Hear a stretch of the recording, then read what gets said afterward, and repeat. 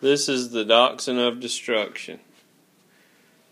We came in Leah's room and she had to tried to destroy one of Leah's sit up bed pillows. And as you can see the damage on the floor.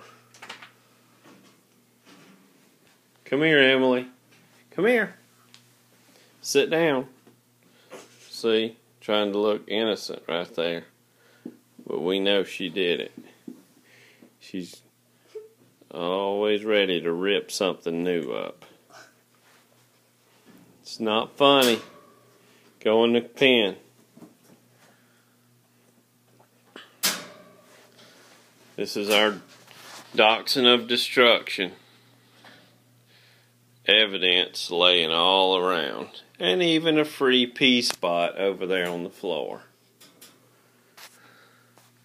Gotta love a dachshund.